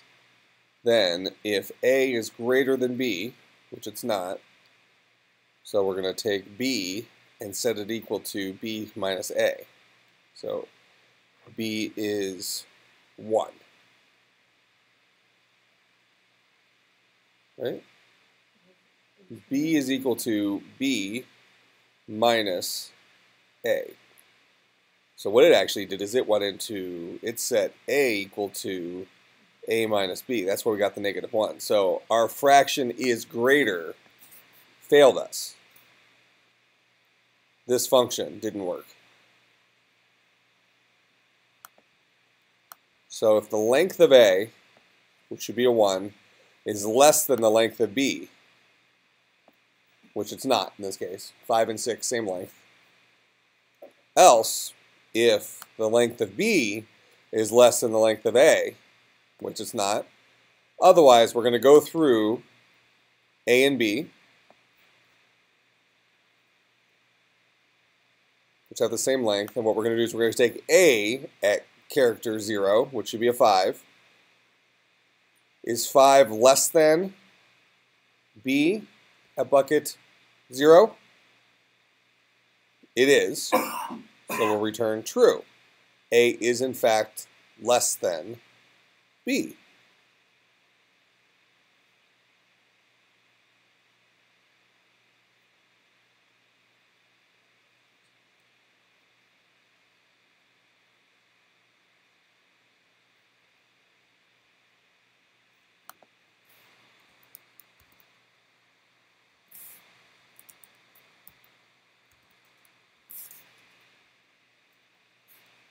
Actually, I know that. I know those will work. So we saw by our output, so 5 is less than B. This is 5. I should have done this one.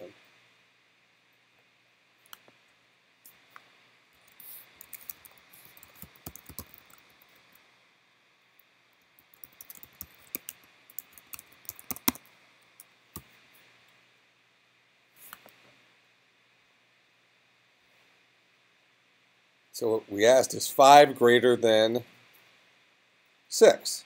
And we got a true from that. So right off the bat, we got the wrong answer from is greater. So that's our, our problem was with is greater.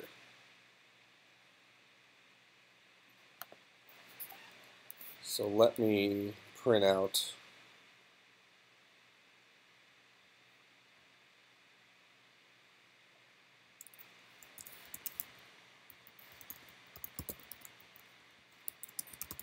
a length is a dot toString dot length and b length our hope is both of these are one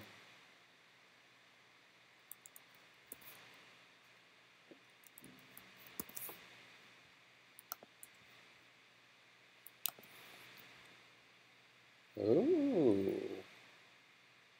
Is it a plus sign, maybe? Oh, hold on, it's up here.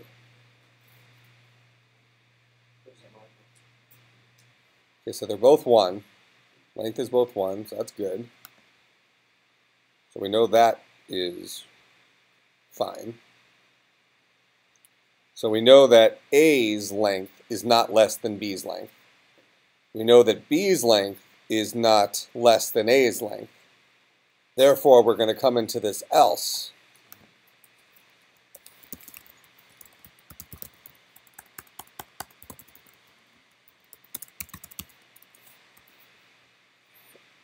okay, so we got into the in else. So we're definitely here. So now we're going to walk through A and B.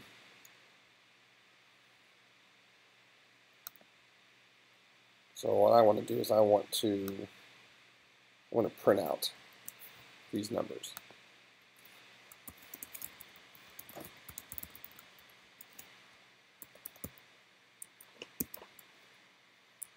num a is equal to that.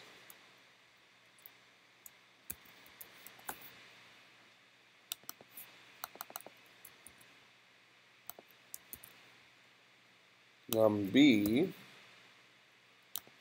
is equal to that. We want to get 0 for both of these. So we should get 5 and 6.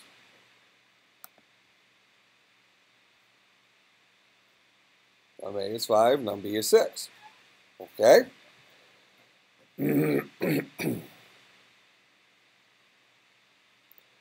so if 5,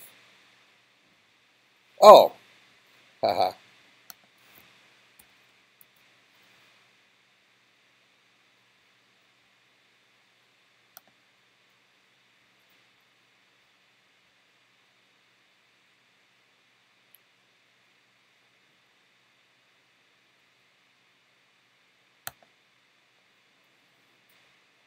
So we asked here, is 5, originally we said is 5 less than 6? The answer is yes. So we return true that 5 is greater than 6. So that's not right. So we really want to say is 5 greater than or equal to 6. Is that right? If 5 is greater than or equal to 6, we're going to return true.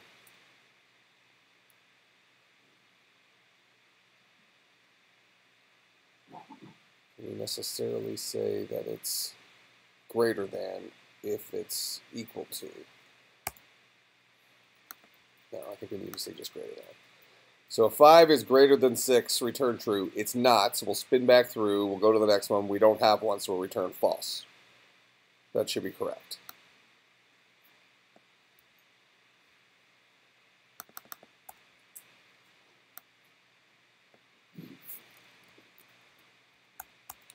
Okay. So I think is greater should work now, but let's let's test is greater before we do anything else.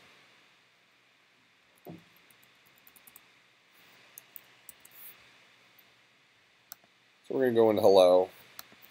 We'll comment out these couple lines. And we'll do system dot out dot println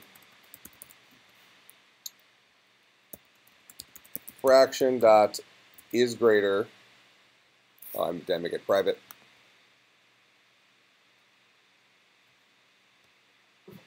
I did.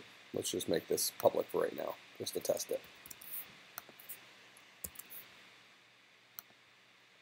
So we'll say fraction dot is greater, and we're going to pass it a new big integer 1 and a new big integer 2. Is 1 greater than 2? It is not, so we should get a false.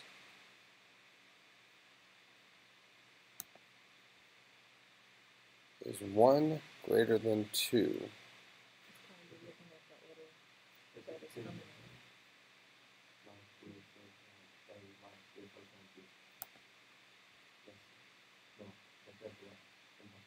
Right, now I get it. So let's, this is, so this is 1 and 2. Are the same, uh, is one longer than the other one? No, no. So now we have 1 and 2. So but we're only going to go through this loop one time. So we're at bucket 0, right? So we're going to get integer at parseInt a at bucket 0, which should be a 1. Is 1 greater than a 2? No. So we're not going to return true. But we did return true.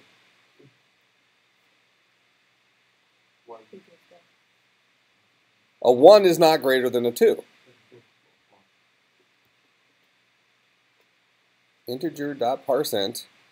I'm going to take the string version of A and get the character at bucket 0, concatenate that onto the empty string. This should give us the integer. Well, that should give us the string 1, and then parsing that should give us the number 1.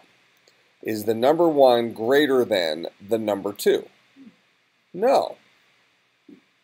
So since that's false, we'll skip past this, go to this 4,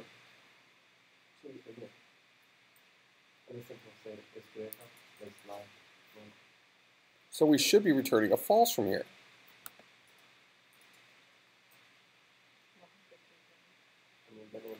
All right, so here we're gonna we're gonna do something interesting. I'm gonna show you how to use a debugger.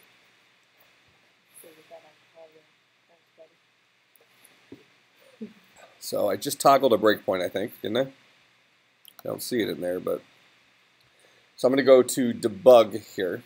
We can also do it from up up here, and I'm gonna run this in debug mode. What it's gonna do is it's going to stop at the line I set the breakpoint on. Okay, so it should show me the current value of things. Now I have uh, where's my here we go. So I'm going to step over some of these lines. So I'll step over here. Uh, where does it give me my values in this guy? Can I just highlight over? Yep, so I is currently 0. So right here, I is 0, which means right here, I is 0. All right. Um, can I get what A is? So A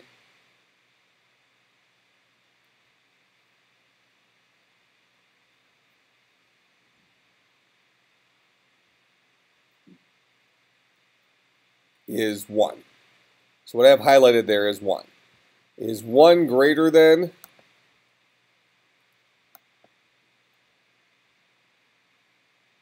B, which is a 2?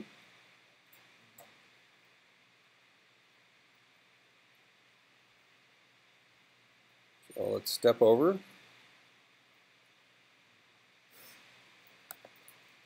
Why?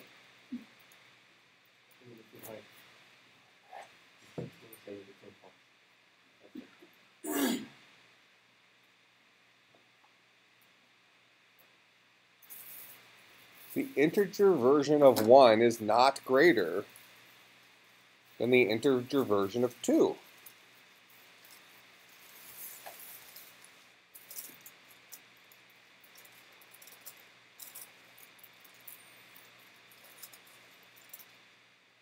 Feel like I'm on the crazy pills. Let's see.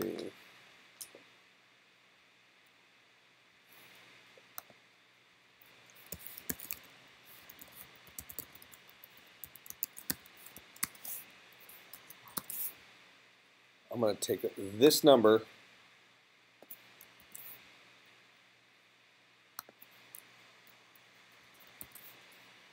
and I'm going to subtract from it this number.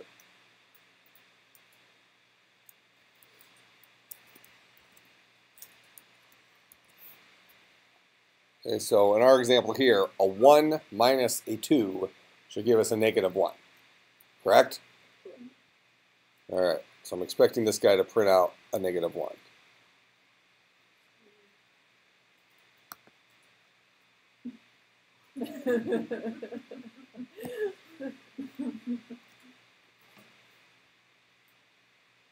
Is it looking at like? Am I matching parentheses wrong? That closes that one. This one closes this one, right? Mhm. So this whole thing is going to boil down to an integer. That integer should be the integer 1. This asks the question, if the integer 1 is greater than this guy, which is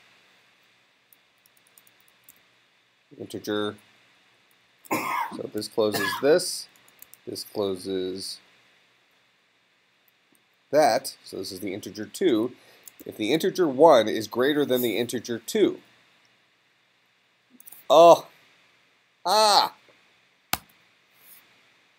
I may have even referenced that early on in this uh, one of our classes early on.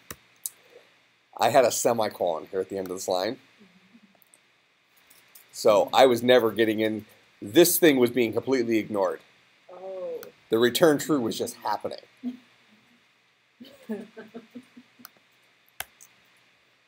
Of course, I did that on purpose.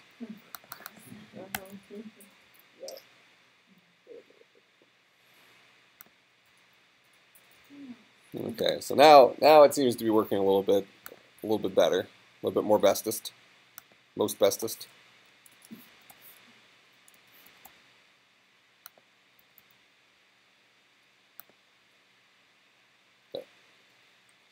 Seems to be accurately reducing now. Um, let's see. Let's do four eighths.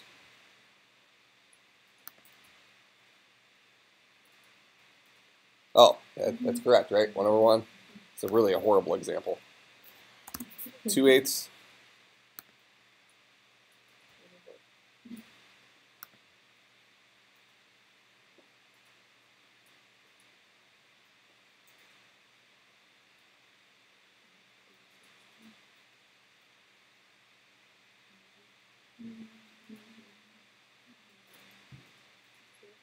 This should be eight sixteenths plus four sixteenths, so twelve sixteenths. So it'd be six eighths, four fourths.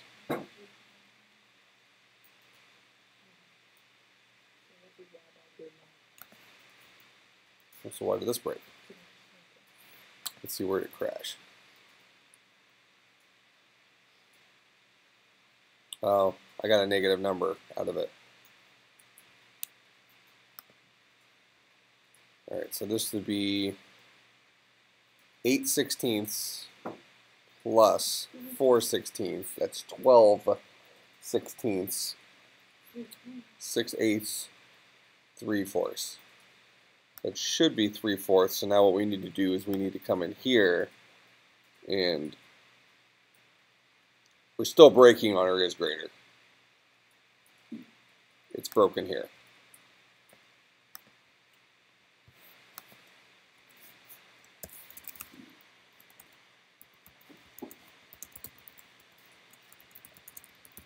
Comparing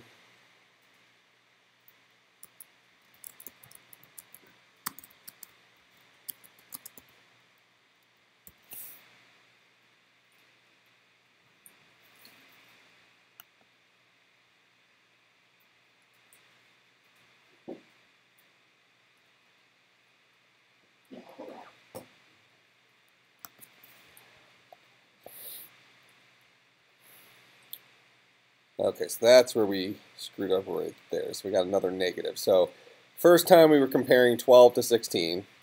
Let's go to is greater.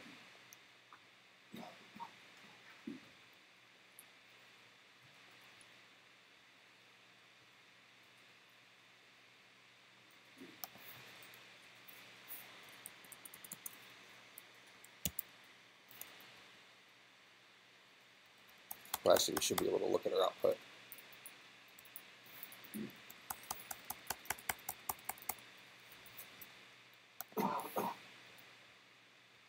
Twelve to sixteen is twelve greater than sixteen? No.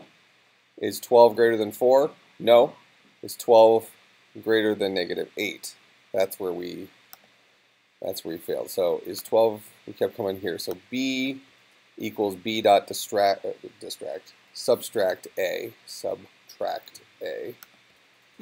So that's 16 is equal to 16 minus 12. So B becomes 4. Great. Is 12 greater than 4? It is. But we didn't treat it as it being greater.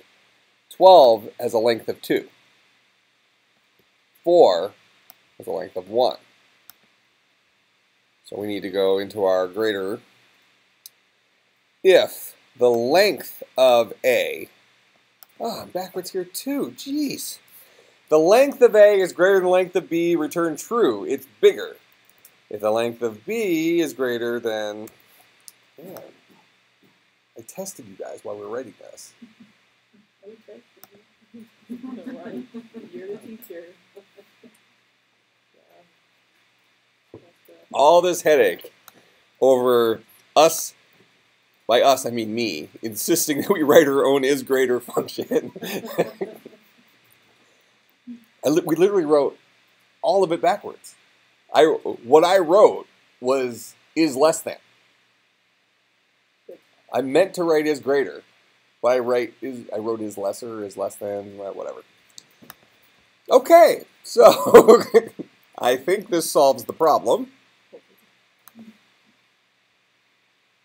Yeah, it, do, it does. This this works for this works for this. So now we should be able to create a bunch of random fractions.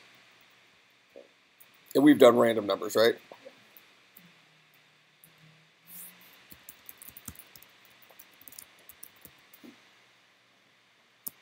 So we'll start this guy off as a new fraction. One, two, because we have that, that long one. And I'm going to create a random r is equal to new random for int i is equal to 0, i is less than 1,000, i plus plus. We're going to say sum is equal to sum dot add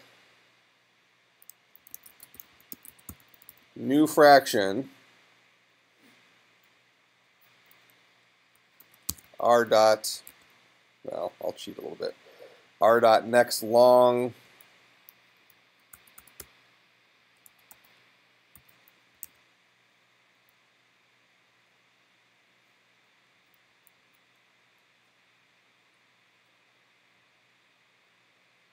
I'll do it this way.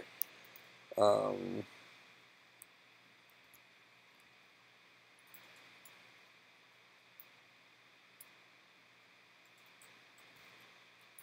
we can't do a zero.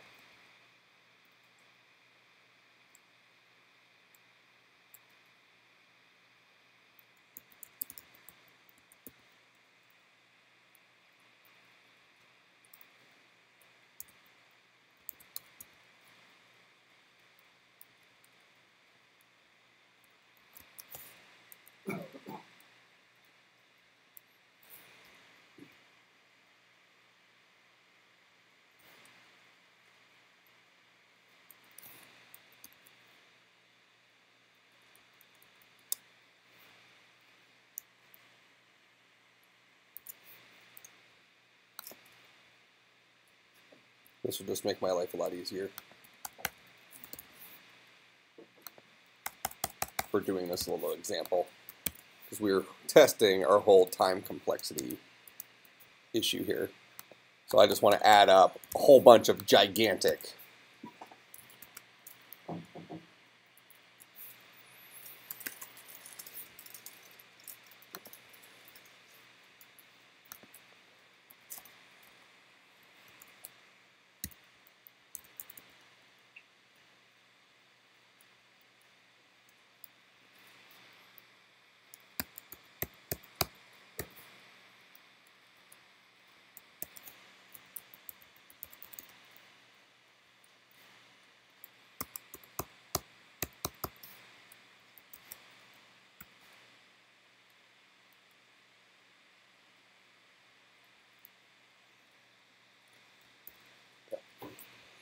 All right, so a thousand times I'm going to take my starting point, which is the fraction 1 half, and I'm going to keep adding to it a new fraction whose numerator is some random number between 1 and 100,000, and whose denominator is some random number between 1 and a million. Well, we'll start with 100,000. And we'll just keep building that up. In the end, after that loop's done, we'll say sum dot display. And the hope is this actually runs fairly quickly and we're dealing with some really large fractions. Oh, hold on, this is not going to run quickly, but actually gives me a good reason to tell you. See how slow this is running?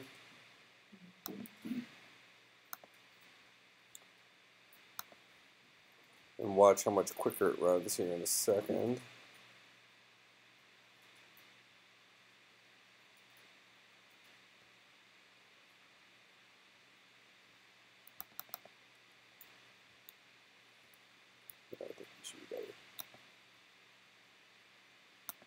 In is greater. Where am I printing that? Mm-hmm. Oh, here we go.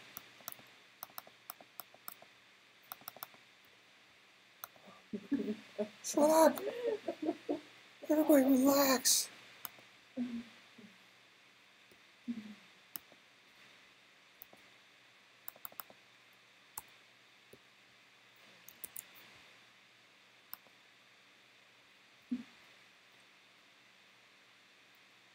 Another negative number?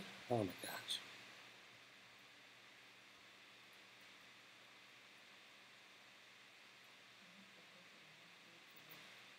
What's up?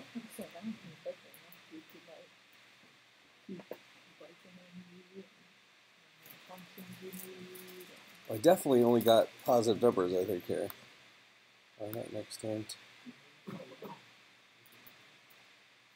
I added one to this to make sure I never had a denominator of zero.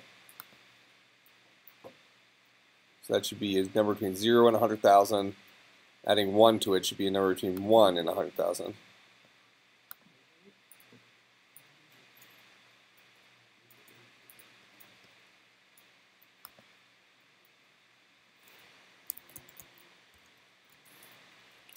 Let me just display some each time. Let's see when we went south.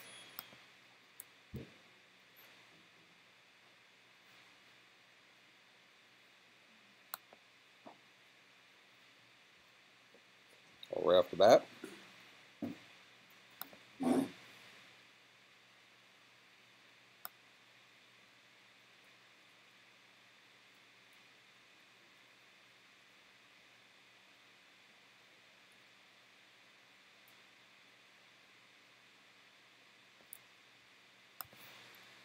It should have worked. I think R dot next int should give me a number between 0 and 100,000, that version of it. Just for the sake of argument here, let's just keep adding one half over and over again.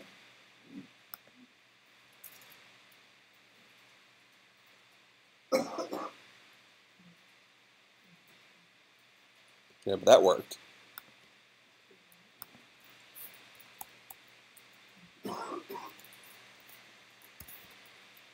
So let's add 1,000 over 2 million.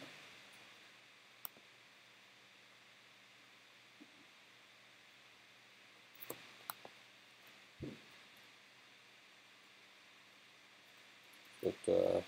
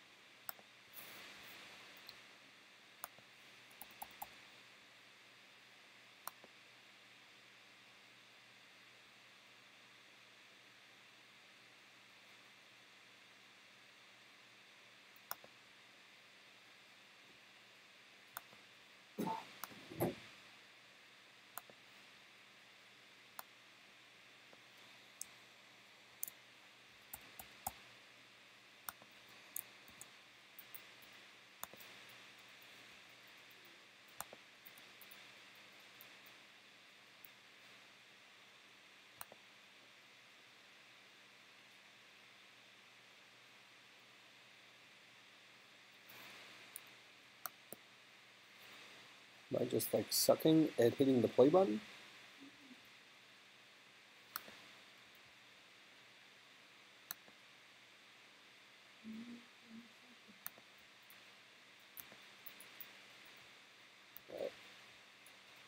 Just for the sake of my own sanity for a second.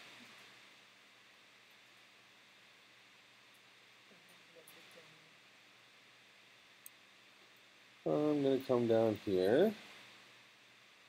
And for add,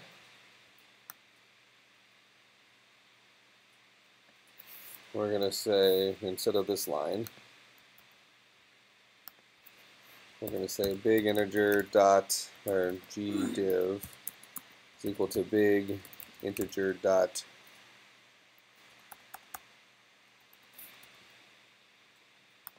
Actually, it must be new num dot gcd new denom. Let's just use their built-in GCD. Okay. Now let's run it with bigger numbers like I was trying to run it with.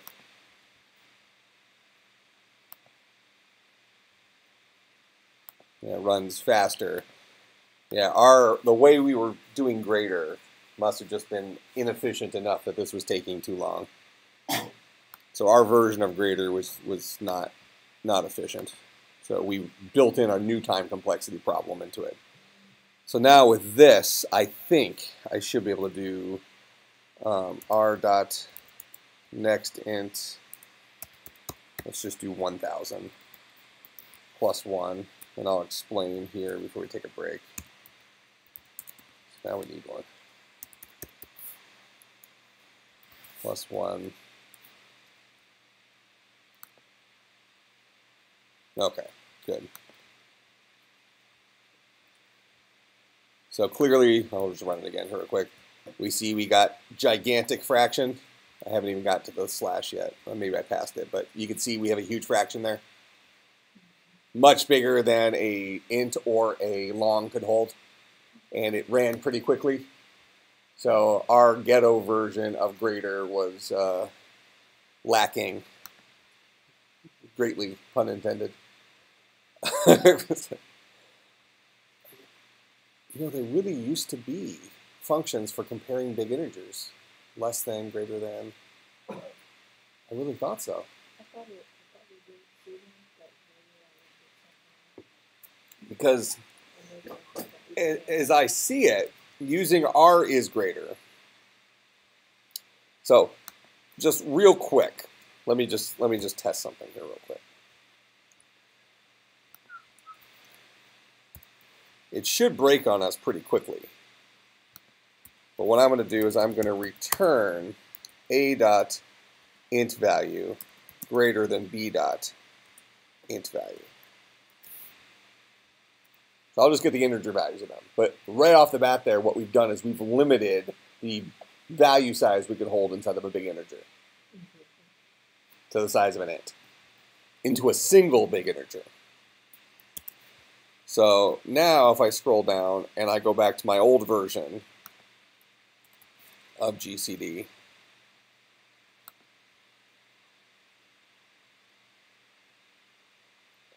yeah, I think we're going to break again because it's going to circle back around and give us negative numbers.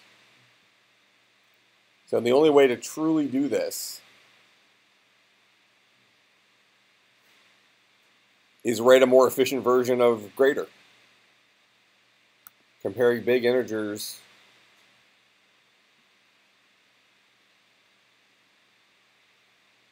Yeah, there's got to be like a mathematically sound way of doing it. Where you take one and subtract another. In fact, I'm positive the functions used to be dot gt dot lt, less than, greater than. Hmm. Interesting. Well, in any in any case, if we had just decided to solve the problem using our the built-in GCD function, we could have pulled it off. Um, I think that our version of greater works now.